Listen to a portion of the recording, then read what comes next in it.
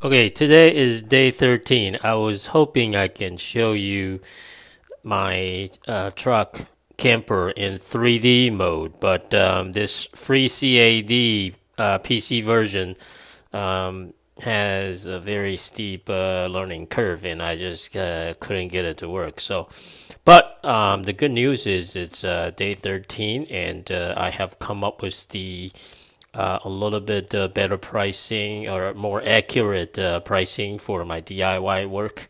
Um, no welding, but it's aluminum frame.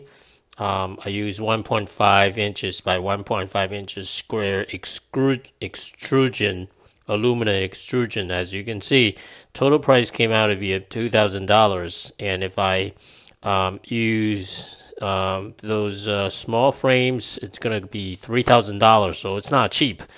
And if I use the uh, and I calculated if I use the aluminum composite panel for the three millimeter uh, four by four by eight feet, I need six of them, and each one is hundred twenty dollars. So total comes out to be around seven hundred twenty dollars. I'm just going to round it to a thousand dollars. So um, that it's going to be four thousand dollars for this uh, aluminum um, slide in truck camper.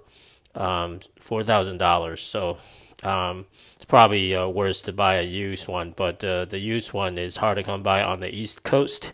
The uh, used one is also they don't have the bathroom I'm looking for a shower. So I'm going to build one, and a lot of people build it uh, using um, plywood. Uh, if I want to build it using plywood and uh, you know two by two frames, uh, the cost is probably going to be five hundred dollars. So it's uh, relatively inexpensive. You know, from four thousand dollars uh, cost down to um, only five hundred dollars using two by two um, or 2 by 3 and uh, 11 over 32 inches uh, plywood.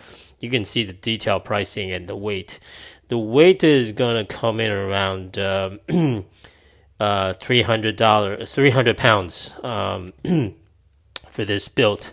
And uh, uh, even with the aluminum uh, frame support, it's going to come out to be uh, 400, 389 pounds.